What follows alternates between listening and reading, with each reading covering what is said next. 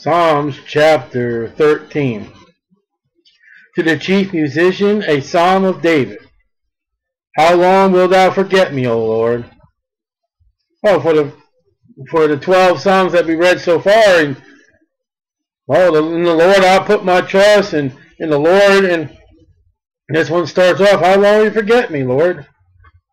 Again, it's it's human nature to think that, you know, where is God?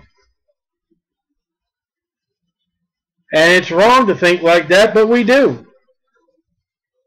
In our trials and tribulation, we wonder where God is, and sometimes the answer to our prayer is not now, or no.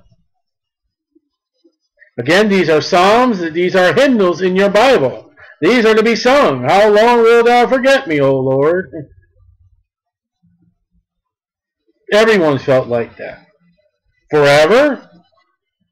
Not forever. Seems like it. How long wilt thou hide thy face from me? Now, David's never seen God's face, but, you know, that's a closer relationship that he had with God. It's like looking upon God. Like Abraham was called a friend of God. And notice how David's saying that the Lord's turned on him, and the Lord hasn't. How long shall I take counsel in my soul, having sorrow in my heart daily? So what he's going through is every day. And it's not just one day, daily. It's trouble upon trouble. How long shall my enemy be exalted over me? So something that David's going through in his life is there are people who are overpowering him. Maybe Saul. I mean, that was a long, long battle. How many years did that take place? Before David finally got the victory over Saul and got the kingdom. I mean, Saul would call thousands and thousands of men after David. Consider and hear me, O Lord, my God. He's saying that God's not listening to him. And again, in your life, you'll have times you'll have prayers like, God, ain't you listening? O Lord my God. Lighten my eyes. Well, maybe, Lord, I don't see what you're saying. I don't see what you're doing. Lord, show me. If you're working in my life, Lord God, show me what you're doing. Give me some kind of sign. Give me some kind of thing that, yeah, Lord, you, you're not far from me. Maybe you're doing something I don't see. At least I sleep the sleep of death. Let my enemies say, uh, excuse me, least my enemies say, I have prevailed against him. Lord, if you don't answer, these, the enemy is going to cause me to die, and they're going to have the victory. And those that trouble me rejoice when I am moved. Well, Absalom was rejoiced when he moved his father out of the kingdom as they ran. Saul was was was kind of rejoicing away every time he went after David to go get him, and David would take off and move on him. You know, there's sometimes I guess in my own personal life that when I left the church, they probably rejoiced and had a good time. That's a shame.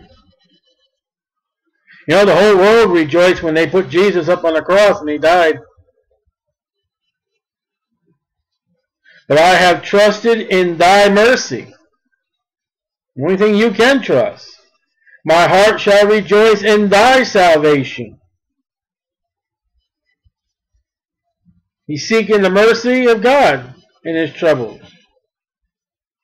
And with all my troubles I will sing unto the Lord. Because he has dealt bountifully with me.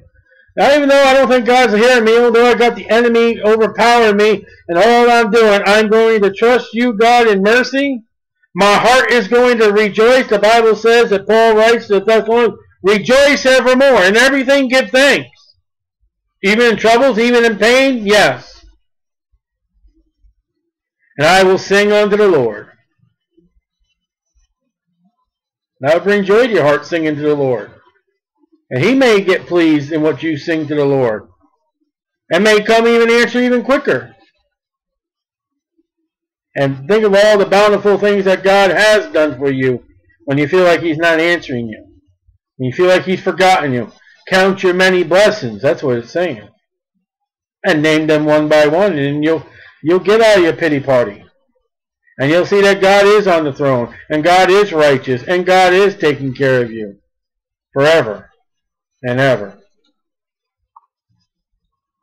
O Lord my God, when I in awesome wonder consider all the worlds thy hands have made, I see the stars, I hear the rolling thunder, thy power throughout Then sings my soul, my Savior God, to thee. How great thou art, how great thou art. Then sings my soul, my Savior God, to thee. How great thou art,